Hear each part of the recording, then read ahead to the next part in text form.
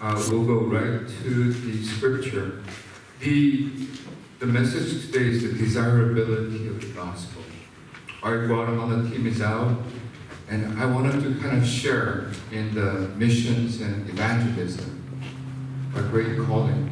So let's all look at Acts chapter 20, verses 22 through 27. Acts chapter 20, verses 22 through 27.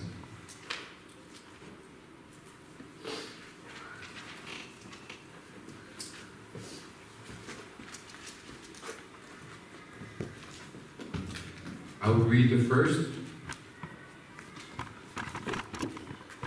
And now, compelled by the Spirit, I'm going to Jerusalem, not knowing what will happen to me there.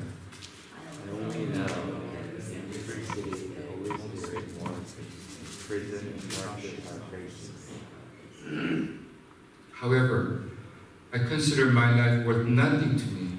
My only aim is to finish the race and complete the task the Lord Jesus has given me the task of testifying to the good news of God's grace. Now I know that none of you might have come about preaching the kingdom of Therefore, I declare to you today that I am innocent of the blood of any of you. Everybody? For I have not hesitated to proclaim to you the whole will of God. In today's scripture, Paul is going to Jerusalem. His future is uncertain, and he knows that he's going to suffer tremendously. And he's addressing the elders at Ephesus for what probably is going to be his last time. He summarizes his calling and his ultimate goal and desire. He sums it up in verse 24, if you could have that again. He says this, verse 24. Okay, thank you. He says this My only aim is to finish the race and complete the task the Lord Jesus has given me. Only aim is to finish the race complete the task. And what is that? The task of testifying to the good news of God's grace.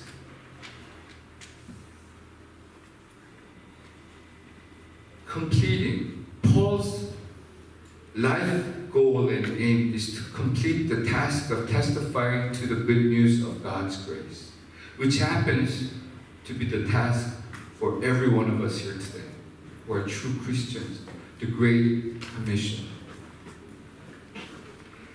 The gospel is the good news.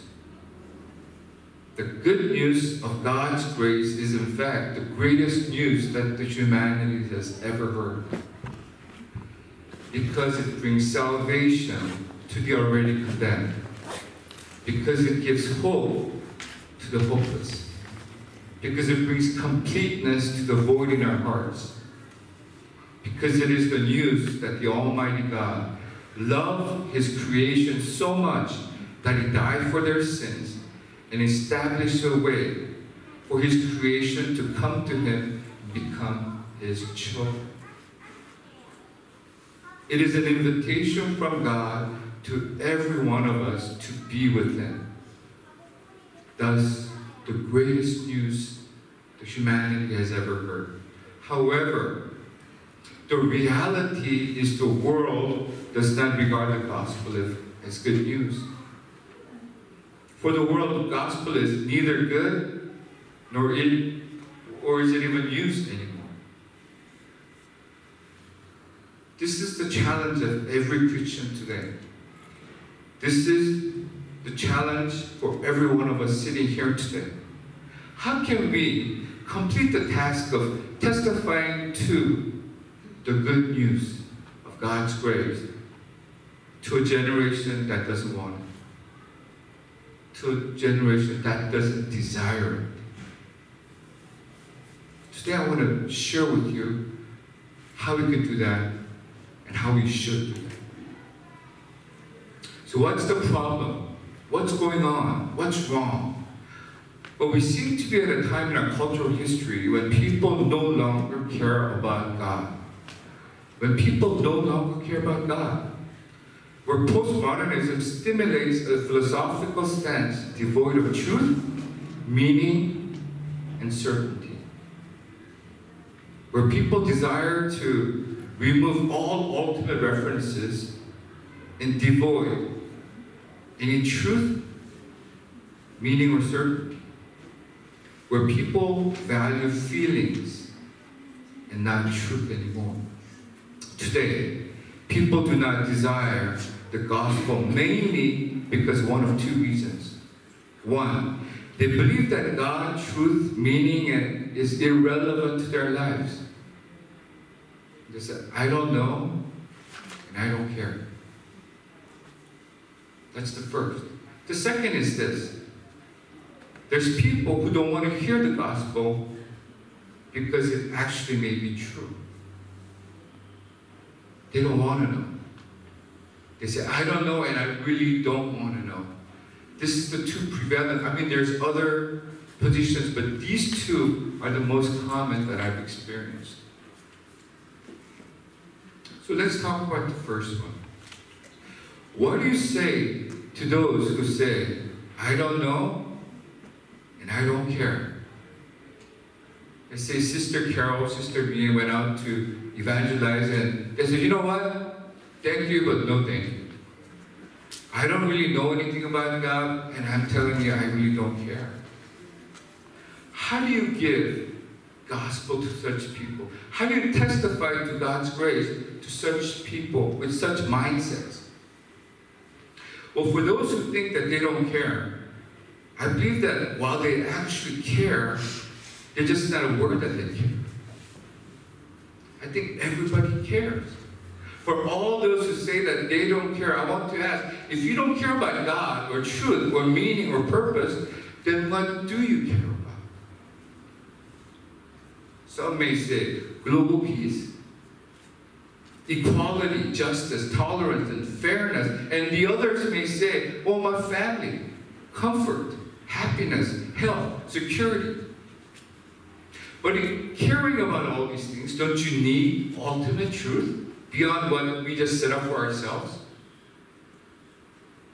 Beyond what's good for you and what's good for me? While many may feel that truth and meaning may be irrelevant to their lives, they fail to see that they, they, they, themselves demand truth from virtually every area of their life. People demand truth from their loved ones, right? I don't want my wife to lie to me. People demand truth from government, doctors, courts, news agencies, stockbrokers, teachers, even mechanics. In fact, people demand truth for almost every facet of their life that affects their money, relationship, safety, or health. To this, some may say, okay, those things are important. Those truths, I get it.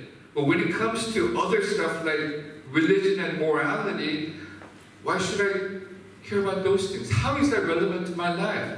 Well, these people who say these are probably the first ones to complain when somebody treats them unfairly, treats them immorally, discriminates against them trumps their rights, cheats them, lies to them, and abuses them. Have you ever been wronged? I had a my wife's uh, friend, 동생, came over to our house, and she's very, very, she's been wrong. Somebody said something, and that wasn't her, and she was angry. Have you ever been wrong? Did, did it matter that they wronged you like that? Everyone who has been wronged cry out for justice. All of us yearn for it. But why? What is the basis of such yearning? Where did you get the idea for the necessity of justice? If there's no ultimate standard, there will never be ultimate justice. If there's no lawgiver, there's no way to say anything is wrong. If the world depends on whatever you think is right, whatever I think is right, then who are we to judge somebody when they do something because they wanted to do it? No ultimate standard, no ultimate justice. People have gotten away with it all this time, and people will continue to get away with it. Whether they believe it or not, whether they realize it or not, the question of God and the ultimate truth is a vital part of everyone's lives. Did it matter that Nazis believed that Jews were inferior to the Aryan, race? Was it relevant when people flew planes into buildings, detonated bombs during a marathon, beheaded innocent lives? Did it matter? Of course it matters. It matters now. It mattered back then, and it will always matter. In 1952, Encyclopedia Britannica published the Great Books of the Western World. It's a 54 volume set. The editor covered 102 great ideas, including democracy, desire, family, government, happiness, history, justice, law, life and death, love, man, philosophy, science, wisdom, and so on. The editor-in-chief, Mortimer Adler, wrote an introduction to these great ideas in two-volume set. When he summarized the thoughts of all the great thinkers like Socrates, Plato, or you know, everybody. Out of all these ideas, the longest section was given to the topic of God. When in an interview with Larry King, he was asked, why did you give the theme of God the greatest volume of space in your multiple volume set? And he replied this, because more consequence for life follows from that one issue than any other issue you can think of. In other words, how you view God has the most direct and exhaustive bearing on what else you believe and how you live. God matters in our life. In our current society, we put so much importance on personal development and social tolerance and acceptability, we ignore the most important matter of essence. C.S. Lewis put it this way, when a ship goes out into high seas, it has to answer three questions. Question number one, how do you keep the ship from sinking? It's a personal ethics. Number two, how do you keep the ship from bumping into other ships? social ethics. But the greatest question, why is the ship out there in the first place? This world doesn't know. The essential ethics they cannot answer. Without God, the most important question can never be answered. For all the people who say, I don't know and I don't care, we need to plead with them that they need to care. We need to convince them that they already care. They're just not aware that, that they care about it yet. We need to convince them that God is relevant in their lives. In fact, without God, everything else that they consider relevant will lose their relevancy. Everything else that they consider relevant in their life right now, it's going to lose their relevancy. Everyone comes naked from their mother's womb, and as everyone comes, so everybody departs. What good is good is it for someone to gain the whole world yet forfeit their soul? When we stand before God in judgment, in the nakedness of our soul, we will discover that the only relevant thing is a relationship with God. That's the only relevant thing when we're standing before the judgment seat naked as we came. This is the gospel you are called to testify to. Are you able to do it? Are you able to testify to this good news? Number two mindset. I don't know and I don't want to know. There are people who are scared they don't want to hear about God in fear that it might actually be true. That once they determine it to be true, they're obligated now to follow all of the rules and regulations in the Bible. that they'll be giving up their freedom and happiness. These are people who believe that in order to be happy and fulfilled, they must avoid God and His moral law at all costs. Otherwise, I'm going to lose my happiness.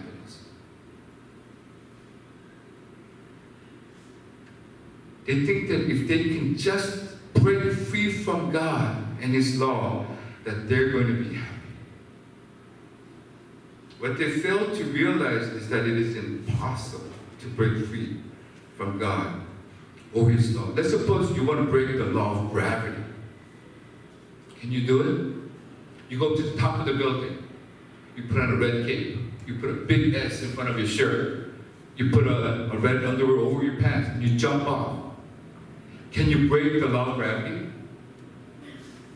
What will you be breaking? What will you be breaking? You will be breaking yourself while proving the law in the very process, right? You'll be breaking yourself while proving the law. When you jump off the building, just because you don't think about the law of gravity does not make the reality of gravity go away. Just because you don't think about God, it does not make the reality of God go away either. You see, whenever you try to break God's moral law, you end up breaking yourself while proving God's law in the process, whether you want to believe it or not. Every time we break God's moral law, we get hurt.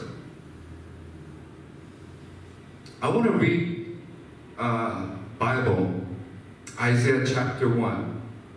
What happens to people who try to break free from God's law? Can we get uh, Isaiah chapter 1? I think it's still there. Okay. Woe to the sinful nation, a people whose guilt is great, a brood of evildoers, children given to corruption. They have forsaken the law. They have spawned the holy ones of Israel and turned their backs on it. Why should you be beaten anymore? Why do you persist in rebellion? Your whole head is injured. Your whole heart is afflicted. From the sole of your feet to the top of your head, there is no soundness, only wounds and welts, open sores, not clean bondage or soothed with oil. What is God's tone here? Is God angry with these people? Is God in a state of wrath? Is he judging them? No. What I hear is God who is pleading with his people. Why are you doing this to yourself? Stop.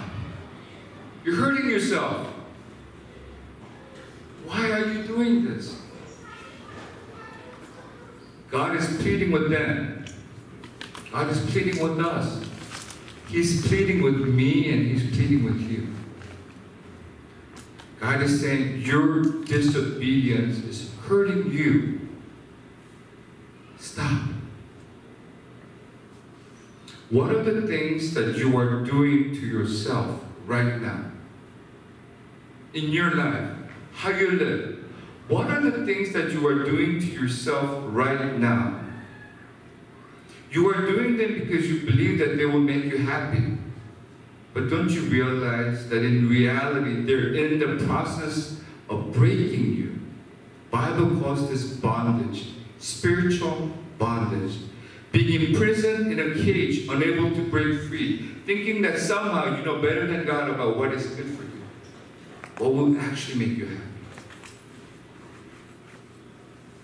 All of us sitting here are sitting here because we know ourselves, right? We are not good people. We are sinful people. God knows the secret things in our heart that we think nobody else knows. He knows. I know. He sees the brokenness that ensues. Not only have we broken His law and broken our lives, we also read that it has broken God's heart. Even as we turn our backs on God, go our own way, begin destroying ourselves and everything around us, God weeps for us. He desperately wants us to stop breaking ourselves and go back to Him. And so God so loved the world that He gave it one and only Son. for broken people who had broken his law and is now living in broken lives. And before Jesus Christ went to the cross, he broke the bread and said, This is my body broken for you. God came into this world and he took the brokenness, the pain of all we had done to ourselves, and he was broken for us. But he didn't stop there. On the third day, he rose from the dead. He conquered over death and pain and shame, and now comes to broken people and says, Let me heal you. Let me make you whole. Let me mend you. Let me complete you. This is the gospel we are called to testify to. Are you able to testify to this gospel? This is the greatest news. Today's core message is this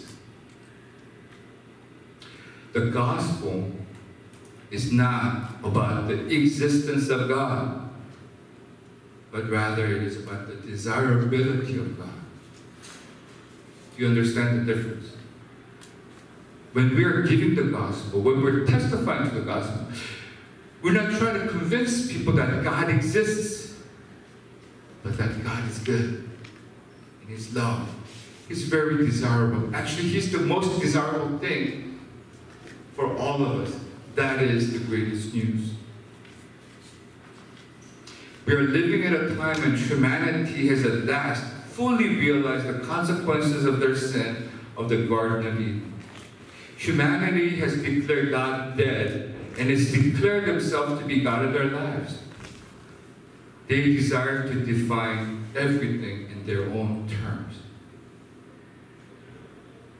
But as, but as pointed out by Friedrich Nietzsche in The Parable of the Madman, they do not realize the implication of their action. They have gotten rid of all absolutes and now they cannot define the basic things of life anymore. What does it mean to be human? What does marriage mean? What does it, what's the meaning of life? What does it mean to be truly happy?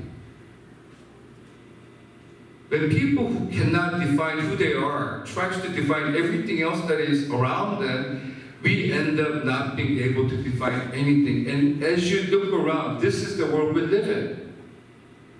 We fight about the basic definitions of life because we don't know who we are. We don't know. What does it mean to be human? What's our worth? We don't know the basic things about life. And this is the challenge of all of us who are commanded to complete the task of testifying to the good news of God's grace. How do you reach a generation that listens with its eyes and thinks with its feelings? We're supposed to look through the eyes and think with our conscience, with our heart.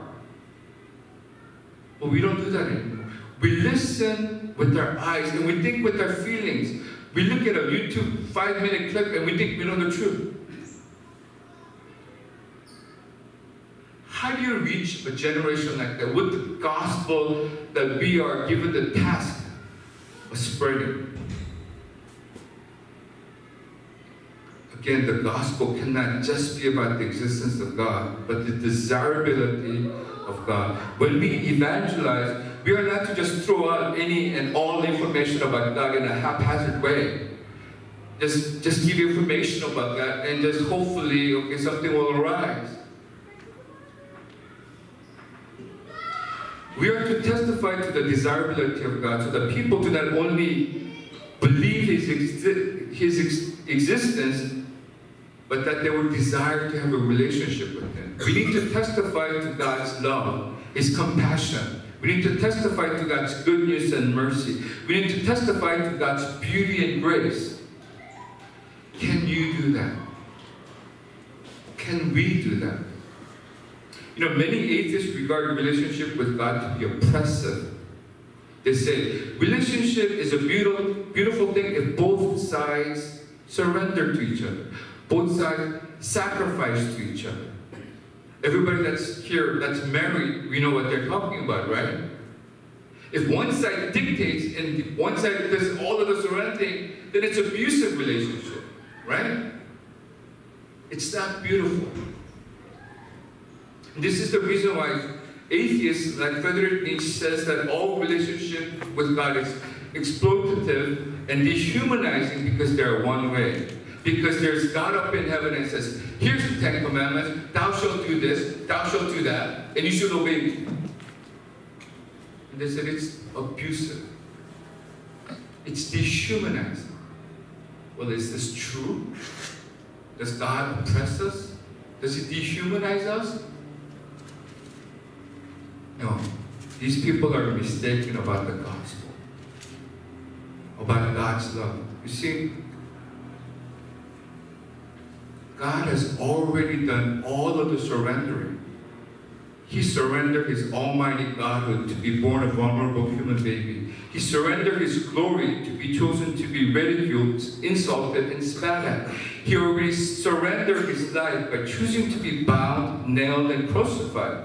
He already totally surrendered himself for us while we were still sinners.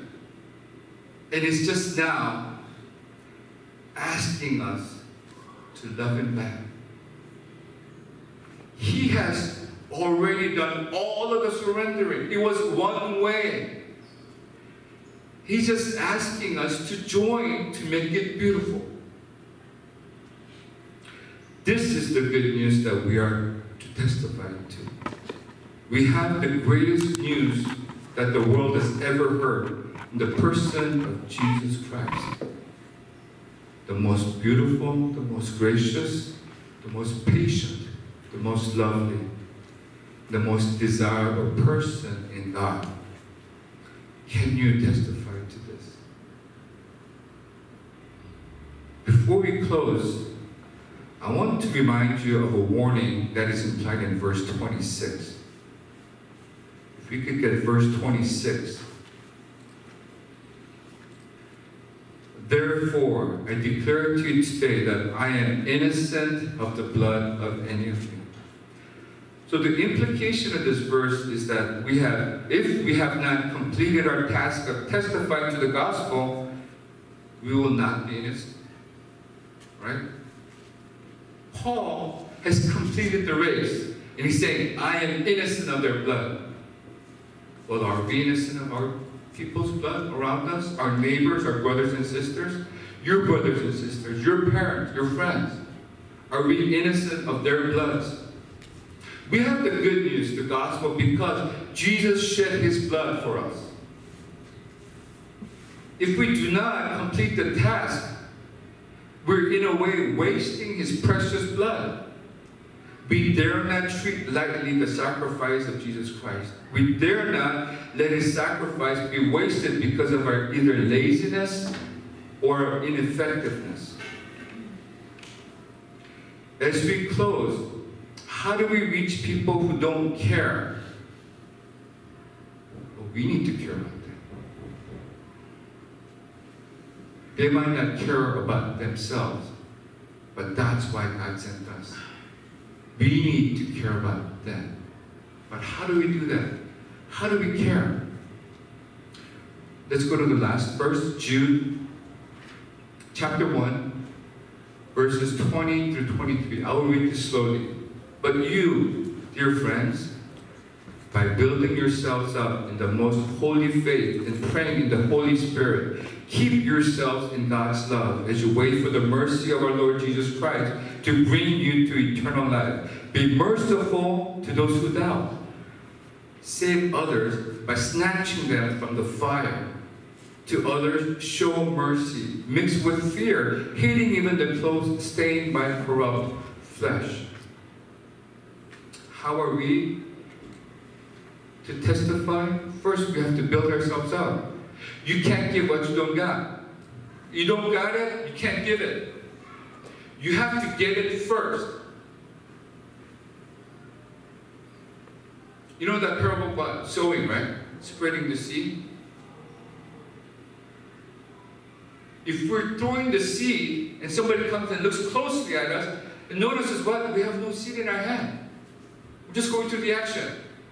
What are you planting? Seed.